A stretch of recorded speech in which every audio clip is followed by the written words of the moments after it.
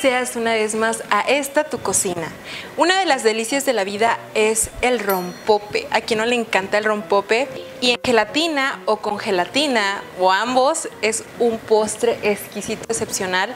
A mí me encanta. Hoy te voy a enseñar a preparar un postre de rompope. El postre de rompope más rico que conozco.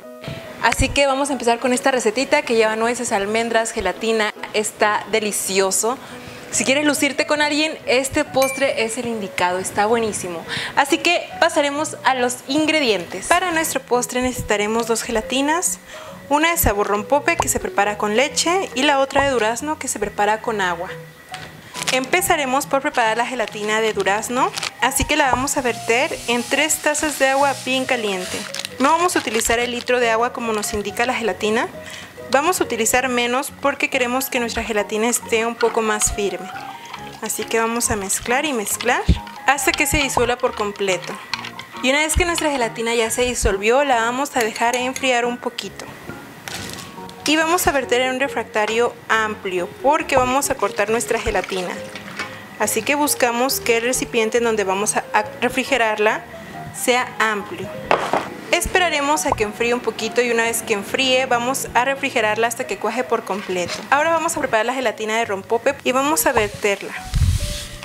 Yo quise hacerlo en este recipiente amplio porque aquí quiero que cuaje. Entonces vamos a disolver nuestra gelatina. La leche debe estar bien caliente. Vamos a utilizar igual que hicimos con el agua, tres tazas de leche bien caliente para poder disolver la gelatina. Una vez que la disolvimos vamos a dejar enfriar y la refrigeraremos hasta que cuaje por completo. Para la mezcla necesitaremos una lata de duraznos en almíbar, una leche evaporada, una leche condensada, una taza de rompope, media taza de nueces y media taza de almendras. Si te gustan las pasitas puedes agregar también media taza de pasitas.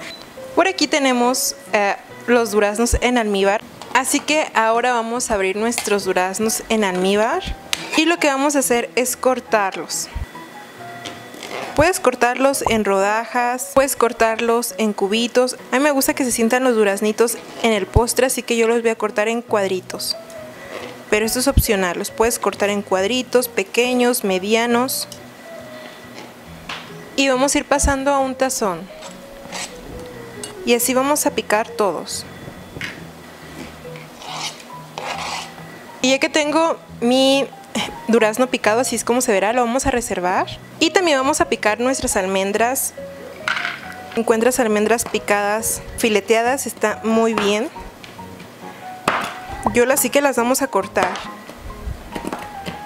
Y también vamos a cortar las nueces. Hay que cortarlas en trocitos. Lo mismo. Y ya por acá tenemos nuestras nueces y nuestras almendras picadas, las vamos a reservar.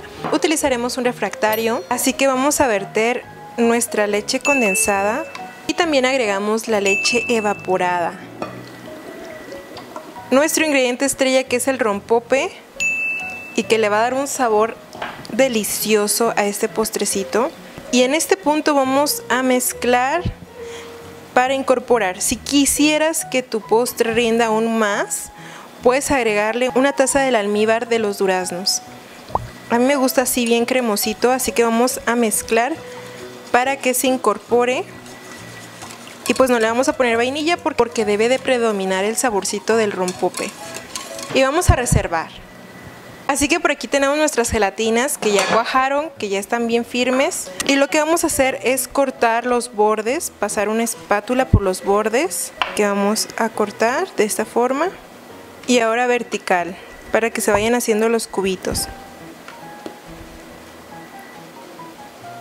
Una espátula vamos a sacar los cubitos. Ve nada más qué bonito se ven, de que están bien firmes y vamos a repetir el procedimiento con la gelatina de leche. Esta sí la voy a cortar con un cuchillo. Primero horizontales y después verticales. Esta es la gelatina de rompope con nuestra espátula sacamos desde abajo. Así que ya tenemos todo para armar nuestro postre. Así que vamos a pasar los cubitos a la mezcla. Tenemos nuestro rompope, nuestras tres leches. Pasamos también nuestros cubitos de gelatina de durazno. Parte favorita son los duraznos. Me encantan los duraznos en almíbar. Con este postre quedan bien ricos. Nada más que bonito se ve. Vamos a mezclar un poquitín. Y como la gelatina está durita, pues no se va a batir nuestro postre. Por eso es importante prepararla solo con tres tazas de agua. Ahora vamos con las nueces y con las almendras. Si tú le vas a agregar pasitas, este es el momento ideal para agregar las pasitas. Es hora de mezclar y mezclar para incorporar. Nuestro postre está listo, así de fácil y sencillo está.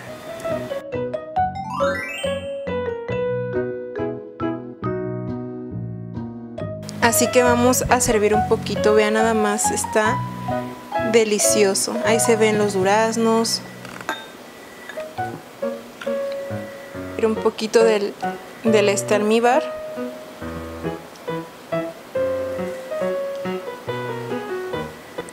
Lo estábamos preparando. ¿Ya viste qué fácil es? Vamos a probar. Ya está. Mm. Buenísimo.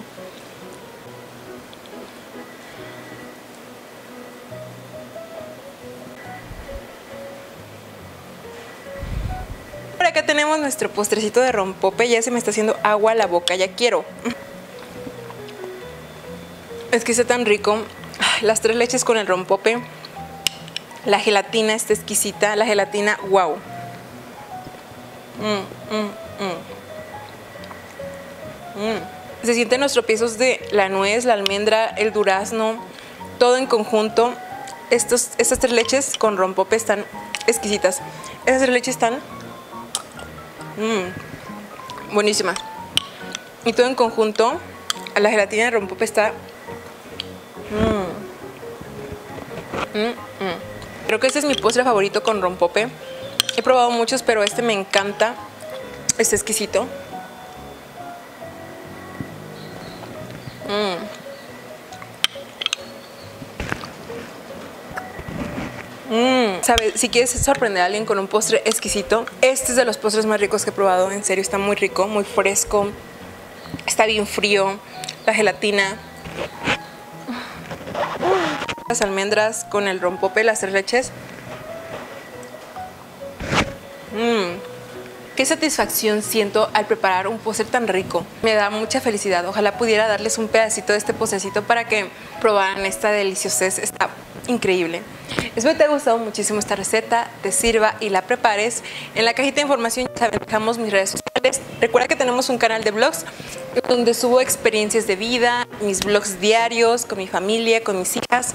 Coméntame aquí abajito en los comentarios el emoji de una frutita, la que tú quieras. Y yo voy a estar dando corazoncito. Te mando muchos besos azucarados y nos vemos en la siguiente receta.